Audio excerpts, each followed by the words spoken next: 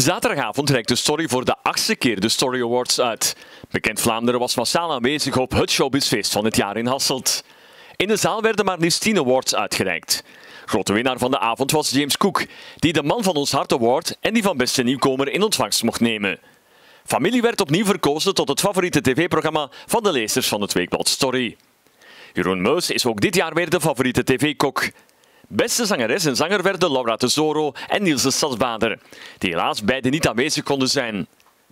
De award voor de beste acteur-actrice gaat naar Kurt Rogiers. Karen Dame ging met de straffe Madame Award aan de haal. Marta en Victor Verhulst werden uitgeroepen tot het favoriete koppel en Jacques Vermeijden kreeg de Story Carrièreprijs.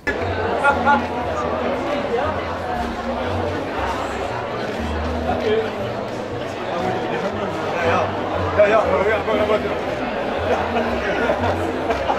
ja, ja. Blijf staan, blijf staan. Ja, ja.